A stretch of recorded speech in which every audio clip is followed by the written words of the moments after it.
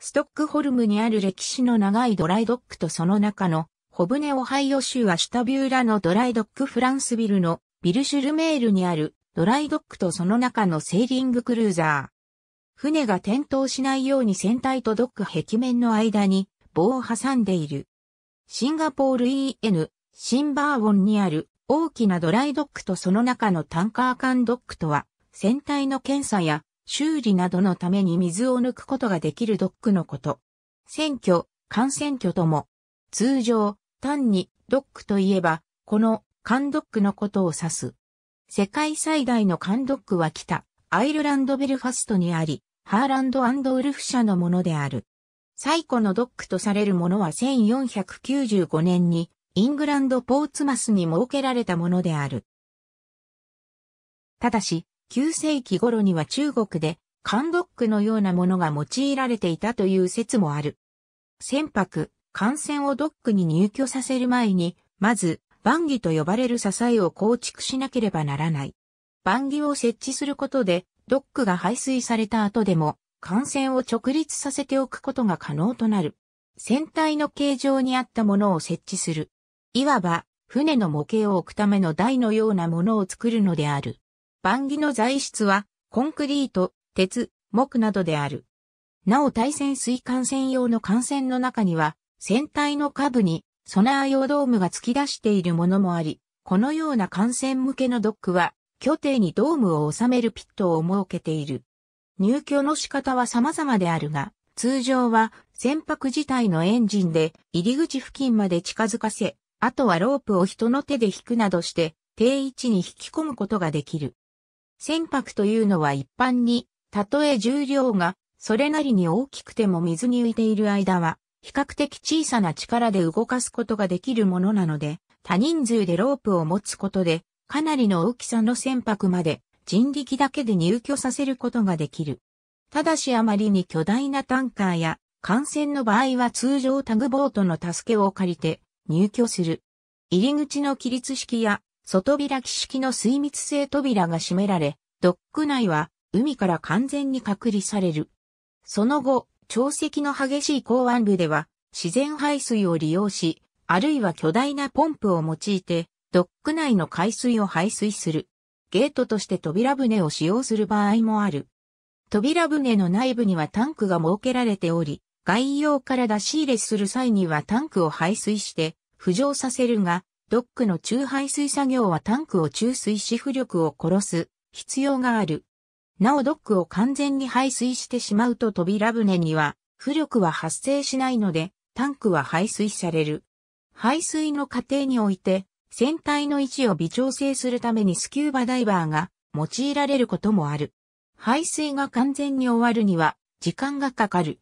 排水が完了すると必要に応じて足場などを組んで船体の点検や整備などの作業が開始される。点検、整備などの作業が終わったら、足場類等を撤去し、ドック内に注水する。船体が浮上し、ドック内外の水位が均等になったら、ゲートを開け、船舶をドック外に引き出す。サンナゼールの U ボート基地コンクリートで建設し、爆撃に備えた。なお、軍用の艦ドックでは屋根が付属していることも珍しくない。これはスパイ衛星などによる観察を防ぐためである。第二次世界大戦中には敵の空襲を防ぐために屋根が設けられたこともある。ドイツ海軍は U ボートを爆撃から守るため強固な作りの防空壕をブレストやロリアンに建設した。後にドイツ海軍は防空壕の中で整備や修理を行えるようにした。今日では潜水艦の尖閣建造等、高度な溶接技術や特殊な工法を要する工程は、建屋の中で行う必要があり、潜水艦建造ドック等はそのための建屋で覆われた構造のものも多い。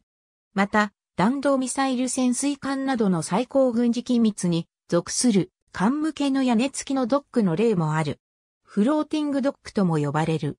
ドックが水中に沈み、船舶や艦船を入居させた上で排水を行って浮上し、監督同様に作業が可能な設備。浮き船居、浮き船台とも言われる。浮きドックは台船の両側に側壁を立てたような形状で、前後方向から見ると大型になっており、浮きドックに機関など、推進装備がない場合、タグボートなどで栄光することで移動できる。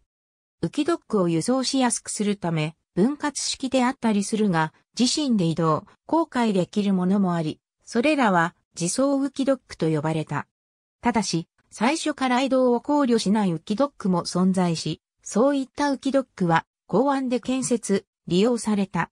複数のウィンチを装備したものは軽油ワイヤーの巻き込みと繰り出しにより多少の移動が可能なものもある。第二次世界大戦中は港湾から遠隔地にあって十分な設備がない場合にも使用され、船内に小規模な工場を持つ工作艦などを同伴して応急修理を可能にした。